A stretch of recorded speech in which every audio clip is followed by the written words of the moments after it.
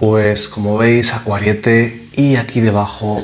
multitud de productos o de reactivos químicos, unos para abonado, otros para calibrar pH, otros con otras utilidades o tratamientos como puede ser vitaminas. Pero lo que no tengo aquí es el producto que vamos a hablar hoy, como es el permanganato de potasio, producto que nunca he tenido y que nunca utilizaré por algunas de las cosas que voy a explicar en el día de hoy, porque sobre todo es un vídeo en el que no nos olvidemos que lo que tenemos en nuestros acuarios y como parte de la ética del hobby es buscar el bienestar de los seres vivos que habitan nuestros proyectos y por otro lado en este vídeo voy a intentar más que hacer ciertas explicaciones haceros buscar información, haceros pensar para que cada uno de vosotros saque sus propias conclusiones que es lo importante. Entonces como os comentaba pues un poquito con la intención de llevaros al rincón de pensar, que es lo importante para aprender,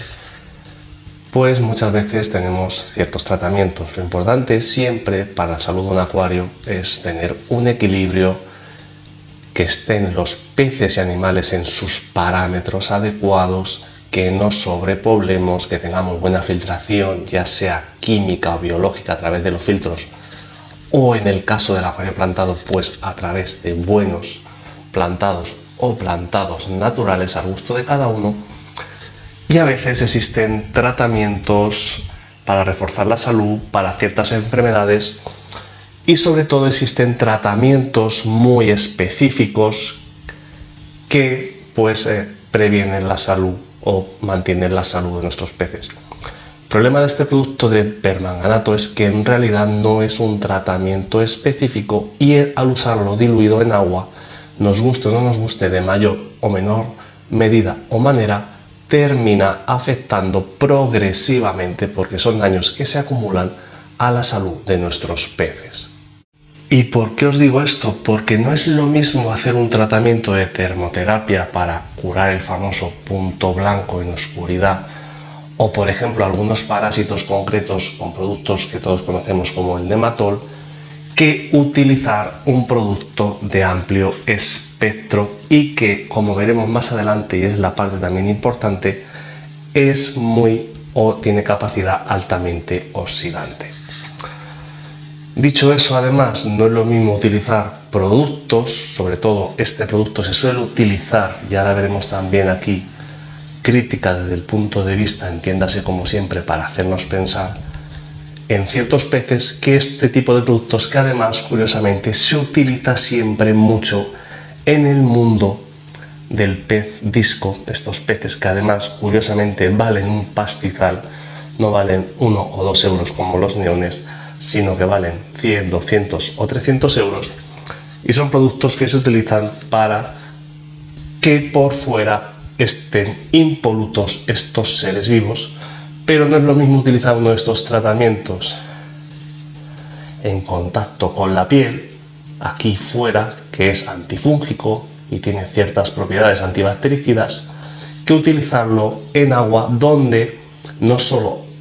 va a tratar el pez por fuera, sino que en mayor o menor dosis los peces necesitan filtrar el agua también por las branquias para respirar y también pasa todo el sistema acuoso a su interior, por lo tanto va a producir daños por las propiedades físico-químicas de esta molécula de ser altamente oxidante. De hecho, ya ejemplos 500, y como digo, no es lo mismo la industria del disco otros tipos de peces, por ejemplo, veis las bolas Spade, palmo cereza, que esos peces donde y repito, ese compuesto permanganato de potasio, y repito, os invito a buscar información, históricamente se ha utilizado para incluso potabilizar agua, es decir, aguas que no se podían consumir se han tratado y luego se han vuelto a tratar para hacerlas potables, por poner ejemplo. Pero es que además muchas veces también la salud de esos peces viene. En 1500 litros sabéis que a mí no me gustan los peces grandes, pero aquí a lo mejor podría tener máximo 4 o 5 de esos discos. También muchas veces enfermedades vienen por estrés, como hemos dicho al principio, sobre todo debido a no tener los parámetros adecuados, sobrepoblación, falta de planta, no tener un entorno o proyecto adecuado con sus parámetros y necesidades de esos peces que son muy especiales, pero si os muestro este proyecto también es porque al igual que los otros muchas veces os he hablado de la vida media de los peces. El pez disco es un que si te vas a las fichas pues encuentras que su vida media es de 10 a 12 años. Yo creo que en 5 años de canal os he demostrado ya que muchas especies, fijaros ahí, ese cristal de java que tengo por ahí detrás, que los tengo de antes de empezar el proyecto, por ejemplo, o como algunas de las corredoras que tengo en el 300 litros, que las tengo ya casi 8 años, estos peces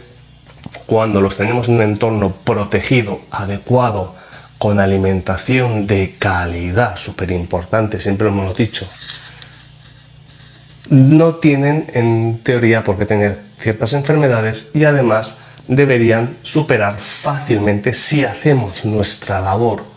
como buenos aficionados, pues deberían superar fácilmente esa vida media que está establecida en videofichas basadas en experiencias antiguas o un poco desfasadas. Por tanto, ¿qué pasa? Que en ese mundo de la industria del disco, y repito que no voy contra nadie de ese mundo, sencillamente quiero haceros pensar y para hacer este vídeo me he documentado, he buscado, he hablado con veterinarios, etc, etc. Lo que quiero que veáis que son peces que valen mucho dinero y les interesa pues venderlos aparentemente sanos pero en realidad cuando esos peces están en contacto con ese producto, se van quemando por dentro y lo que hacemos con los diferentes tratamientos es limitar la potencial vida máxima de esos peces porque les estamos generando un estrés o un daño interno, guste o no guste, por las propias propiedades de la molécula del permanganato de potasio. Dicho eso, y volviendo aquí a este proyectito, que fijaros qué bonito está, ¿no? Proyecto muy plantado, con peces muy chiquitines, muy específicos, pH ligeramente ácido, pues os he hablado de las propiedades altamente oxidantes. Y ahora os voy a llevar otra vez al rincón de pensar. Hay un compuesto en el que yo creo que todos, o espero o deseo, que asumimos que no se utiliza en los acuarios cuando están montados para ningún tratamiento Ejemplo, la lejía. Si os hablo del hipoclorito de sodio, conocido como lejía, es un compuesto con unas propiedades físico-químicas muy, muy oxidantes. Os digo esto porque si somos capaces de entender eso, estoy seguro que no utilizaremos nadie para tratar a nuestros peces lejía muy diluida, porque aunque la diluyamos, el compuesto sigue siendo altamente oxidante. Pues os digo esto porque es que el permanganato es un compuesto no tan oxidante como la lejía, pero es un compuesto muy oxidante. Es decir, y salvando las diferencias, y repito, con los errores de concepto que asumo que cometo en este vídeo, pero con la intención de que busquéis información y que penséis por vosotros mismos, imaginar ese permanganato como si fuera, y repito, salvando las diferencias, lejía diluida. A que visto así seguro que os plantearéis su uso, pues a eso es lo que me refiero, a que lo penséis y sepáis lo que estáis utilizando. ¿Y por qué os digo eso? Porque imaginaros incluso si recordáis hace un año, tarjetita que os dejaré cuando tuvimos hace ese año la plaga de misozoo en los antiguos ñones verdes que fallecieron casi todos, evidentemente si hubiera utilizado ese permanganato de potasio, hubiera matado ese misozoo. Pero el beneficio de un tratamiento es cuando mata específicamente el, el parásito en este caso y no afecta al hospedador, que serían los peces. Claro que si hubiera usado permanganato para una enfermedad que no tiene tratamiento a día de hoy, hubiera matado el misozoo, pero es que también hubiera matado a mis peces. Por tanto, para que veáis este ejemplo comparativo, no tiene mucho sentido utilizarlo. Esto llevado al mundo del pez disco son peces mayores, se usan pequeñas cantidades, pero quiero que veáis esa comparativa en la que en realidad para curar ciertos parásitos o heridas o infecciones en la piel, lo que se está haciendo es matar moscas a cañonazos porque hay mejores tratamientos que ese para enfermedades de la piel, de los discos, que además no afecten a la parte interna, repito, al estar diluidos en compuesto pasa a la branquia, pasa al interior y genera daños. Y repito ese concepto que os he dicho de sea el pez que sea, limitar su potencial vida máxima en base a exposición a un tóxico. Y otro aspecto para ir cerrando un poquito este vídeo y centrados en el no uso del permanganato de potasio ha sido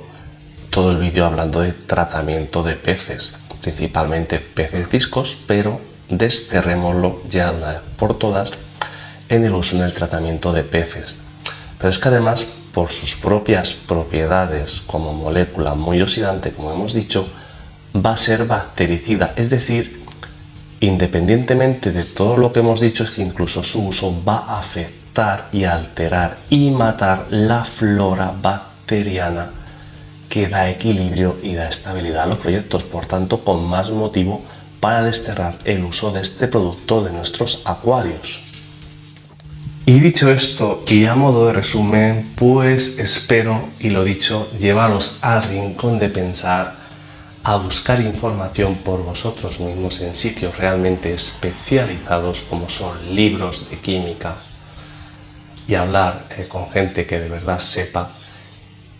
que no es lo mismo utilizar ciertos compuestos fuera del agua que dentro del ambiente acuoso diluido por la forma como afecta de manera genérica, es decir, no es específico y que sobre todo, y como he empezado al principio, el buen aficionado al hobby tenemos que preservar, sobre todo priorizar la salud y bienestar de nuestros peces que son mascotas, pero también no lo olvidemos seres vivos. Dicho esto, espero os haya gustado este vídeo y ya sabéis, dejar vuestros me gustas, vuestros comentarios, suscribiros, también tenemos la función miembros de canal,